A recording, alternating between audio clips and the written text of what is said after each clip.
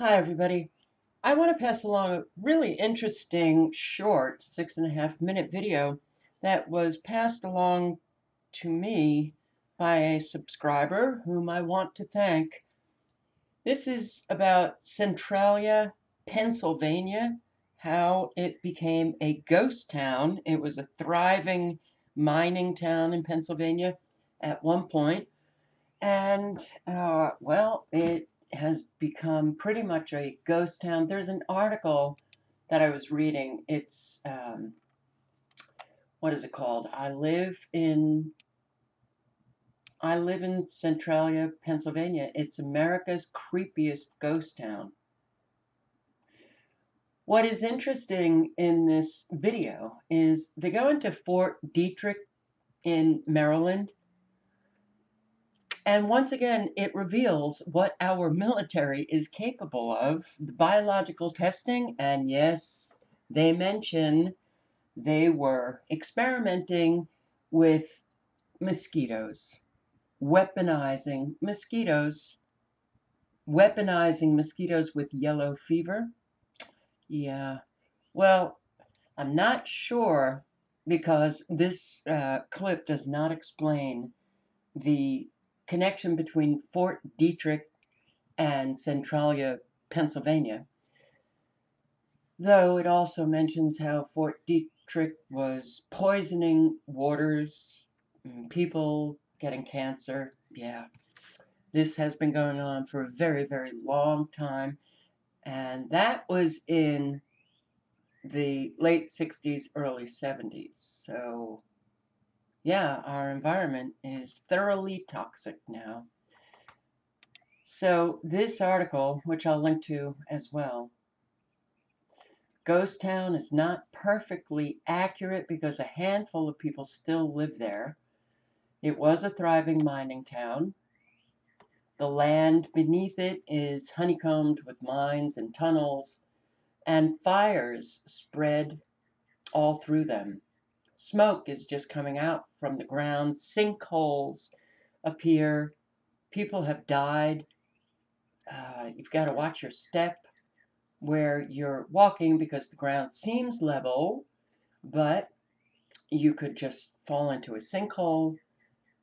Uh, people have died and animals have died, deer and cats and yada, yada, yada. Neighbor's cat. Man, oh man. This is Centralia, Pennsylvania. Smoke arising. Um, people refer to it as hell, uh, Satan's land, life in a ghost town. Interesting.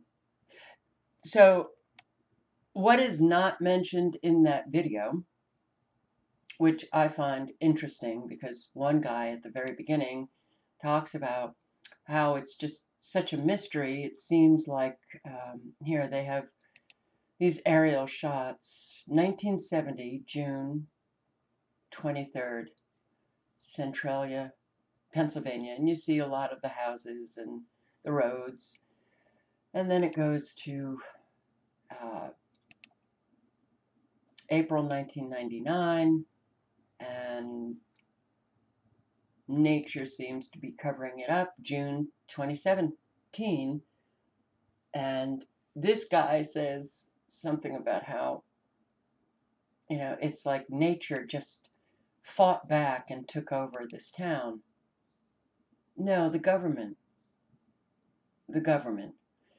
Centralia was the zip code is gone you can't get mail there.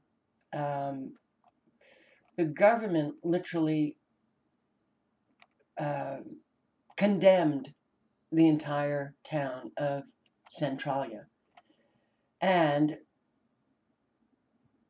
ordered people to leave and then some people didn't leave and then the government the governor of Pennsylvania took over the town eminent domain um, in 2009, the governor announced that all holdouts would be evacuated for their own good yet there are still seven people living in Centralia.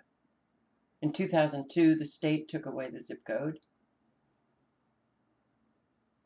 Um, what has been happening is that the state has been planting over. They have been taking down the houses and planting trees and plants, and that's how nature fought back.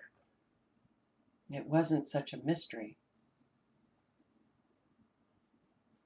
Yeah, so 20 years ago, uh, Jack pointed out, Centralia was emptying out, emptying out. The town still looked more or less like it always had, but over the last two decades, the state government has been doing its damnedest to wipe wipe the town away.